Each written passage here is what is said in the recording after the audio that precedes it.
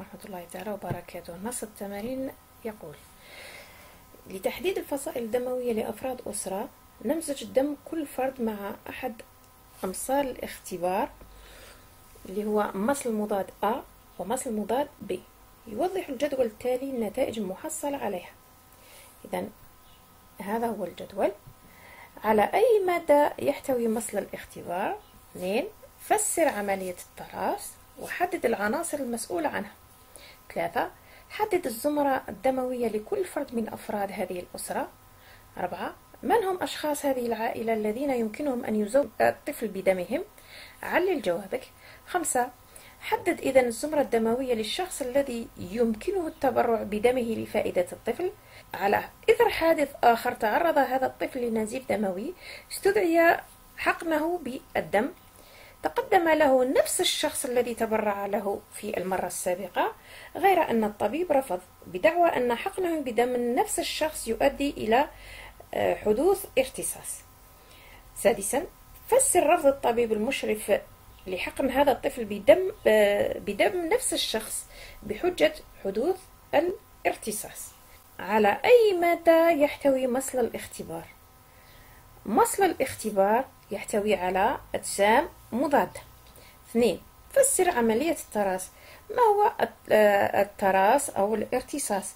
الارتصاص هو التصاق الكريات الحمراء ببعضها البعض وذلك بتثبيت الأجسام المضادة لمولد الضد المطابق له.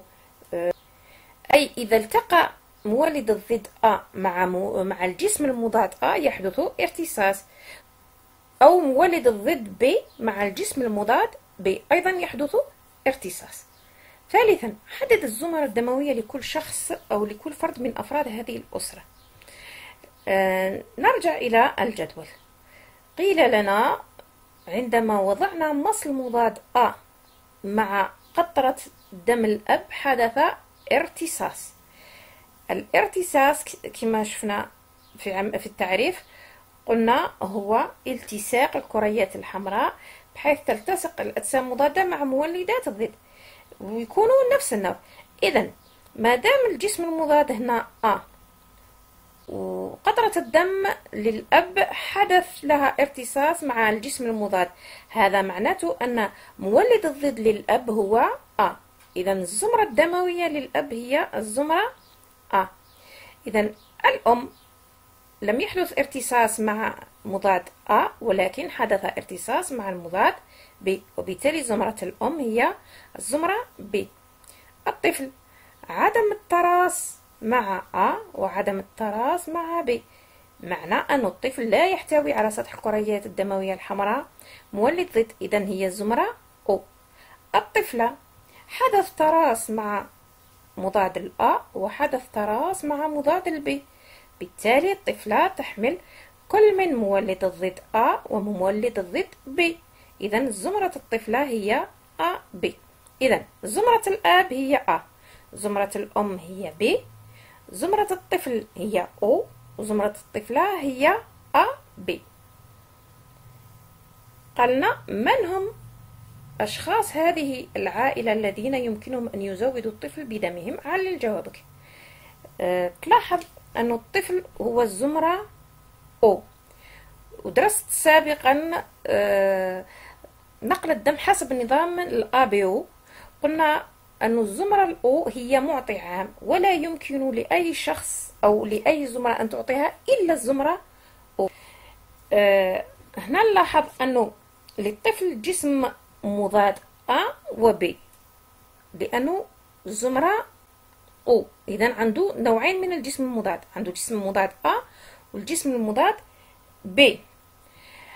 أما الأب عنده مولد الضد A.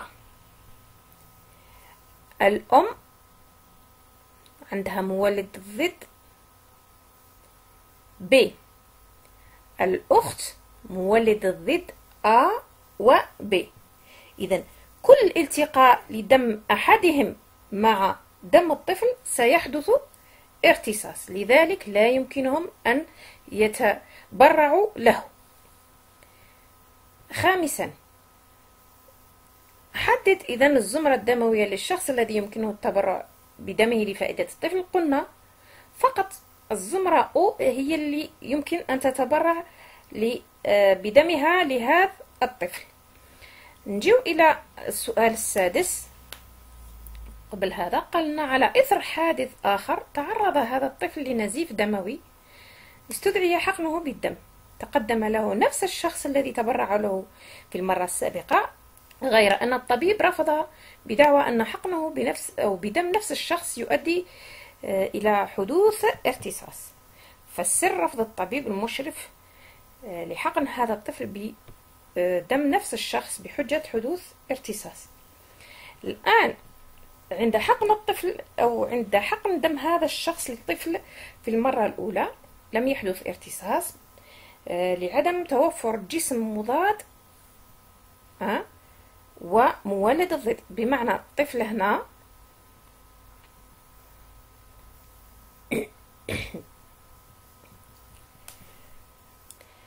عند حقن دم هذا الشخص للطفل المرة الأولى لم يحدث ارتصاص لعدم توفر جسم مضاد ومولد الضد المتطابقين. بينما عند حقن بينما آه، حدث ارتصاص عند حقن دم هذا الشخص للطفل في المرة الثانية. لماذا؟ هنا توفرت الأجسام المضادة ومولد الضد. آه، وكانوا هذان آه، الجسم المضاد ومولد الضد كانوا متطابقين. دليل على أن الكريات الحمراء للشخص المتبرع هذا يحمل مولد الضد آخر اللي هو يدعى عامل الريزيس مولد الضد دي ومصل الطفل هذا يحمل أجسام مضادة مطابقة له. الشيء الذي يؤكد أن جسم الطفل آه، ركب أجسام مضادة لهذا حدث ما يسمى بالارتصاص. إذا آه، الشخص يحتوي على RH إذا زمرته الدموية O RH بلس RH موجب. وبالتالي في المرة الأولى يتقبلها الطفل عادي المرة الثانية سوف ينتج أجسام مضادة ضد مولد الضد دي موجود على سطح الكرية الدموية الحمراء مما يؤدي إلى حدوث ارتصاص. لذلك نتبع القاعدة العامة. واش تقول القاعدة العامة؟ أنه آه، مولد الضد دي أو الزمرة التي آه، تحمل لا تحمل مولد الضد يعني إراش موا. تستطيع التبرع للزمرة الدموية A، الموجبة Rh plus لكن Rh plus لا يمكن أن يعطي الإراش موا إلا مرة واحدة في العمر.